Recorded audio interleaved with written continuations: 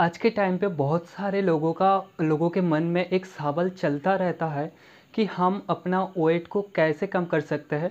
तो आज मैं इस वीडियो में उस सारे चीज़ों के बारे में बात करूँगा, जहाँ से आप लोगों को पता चलेगा कि आप अपना वेट को कैसे कम कर सकते हो। मैं हूँ राजेश और आप देख रहे हो मेरा YouTube channel enthusiastic food dreamer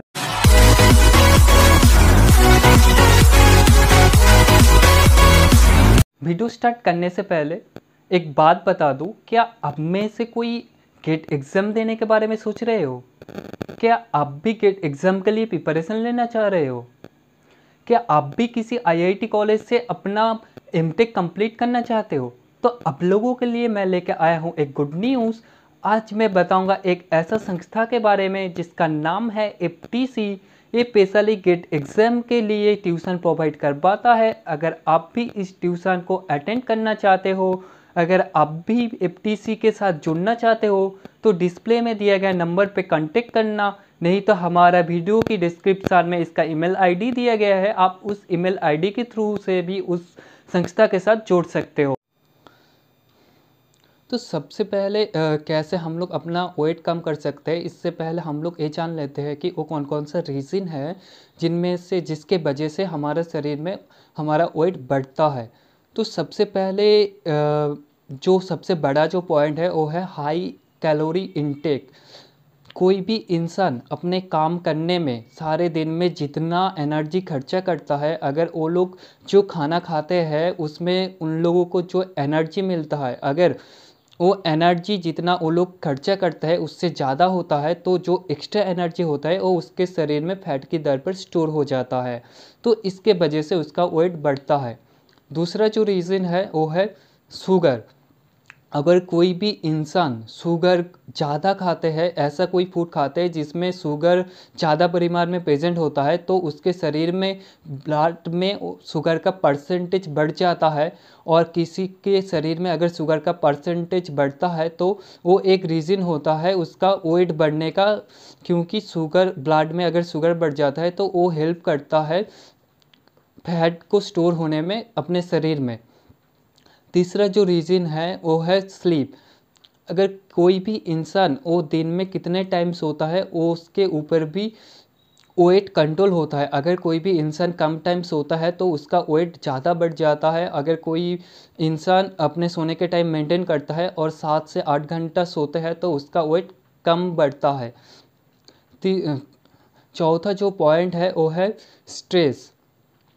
अगर कोई भी लोग कोई भी इंसान स्ट्रेस रहता है तो उसके शरीर में जो एड्रेनालिन हार्मोन होता है, वो करिस्ट कॉर्टिजोल नाम के एक एंजाइम रिलीज़ करता है, जो हमारे शरीर में फैट को स्टोर करने में मदद करता है। पांचवा जो सबसे बड़ा कारण है, वो है फैट सब फैट दोनों टाइप का होता है, एक होता है सेचूरेटेड फैटी एसिड दो होता है अनसेचूरेटेड फैटी एसिड जो सेचूरेटेड फैटी एसिड होता है, वो हमारे शरीर में इतने जल्दी डाइजेस्ट नहीं हो पाता है और वो शरीर में फैट की दर पर स्टोर होकर रह जाता है। तो ये भी एक बहुत बड़ा कारण है हमारे शरीर का वेट बढ़ने का। अब मैं बताने जा रहा हूँ उस फ़ूड के बारे में, जो फ़ूड हमारा वेट कम करने में मदद करता है। इस लिस्ट में जिसका पहला नाम है, वो है फाइबर फाइबर एक ऐसा फ़ूड है जो खाने के बाद हमारे शरीर के अंदर जाने के बाद वो वाटर के साथ जुड़ जाता है और एक जेल लाइक स्ट्रक्चर तैयार करता है और वो स्लो कर डा, हमारा डाइजेस्टिव सिस्टम को स्लो कर देता है।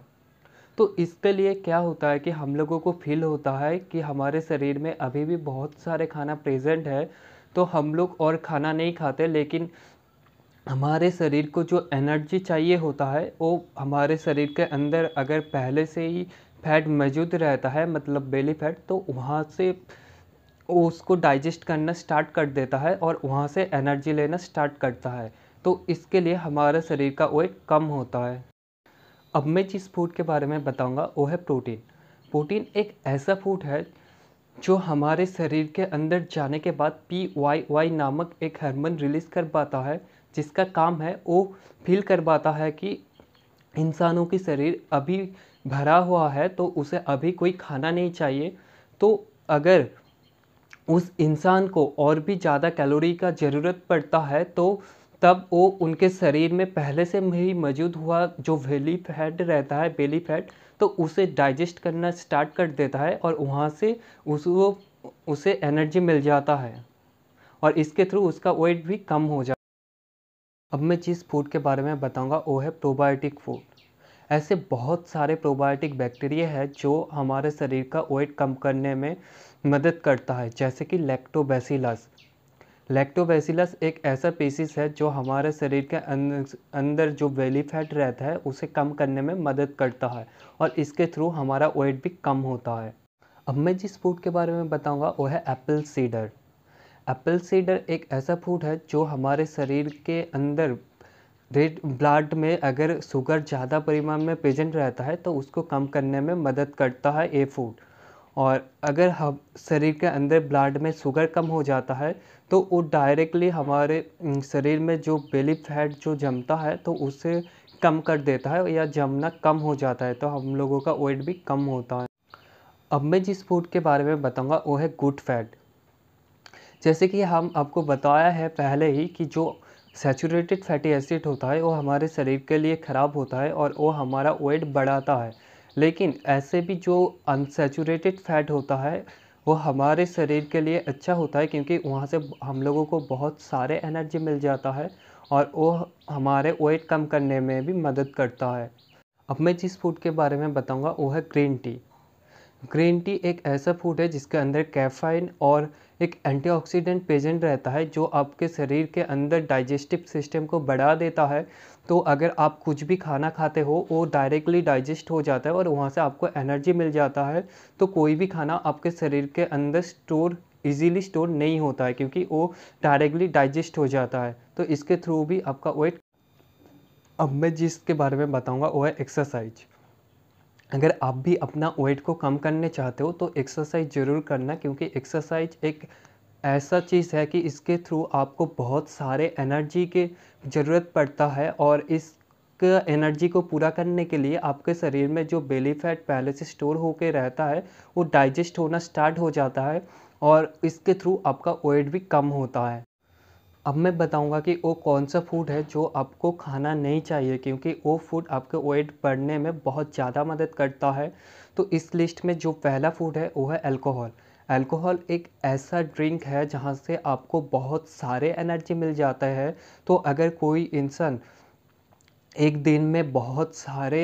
अल्कोहल पीते हैं तो उसे, वहाँ से बहुत सारे इजीली बहुत सारे एनर्जी मिल जाता है। और उसके बाद अगर वो कोई भी खाना खाते हैं तो वो खाना उसके शरीर में स्टोर होकर रह जाता है। क्योंकि उसे जितना एनर्जी चाहिए होता है, वो एनर्जी उसको अल्कोहल से ही मिल जाता है। क्योंकि एक अल्कोहल है, जो फैट के बाद सबसे ज़्यादा कैलोरी हमें वहाँ से ही मिलता है।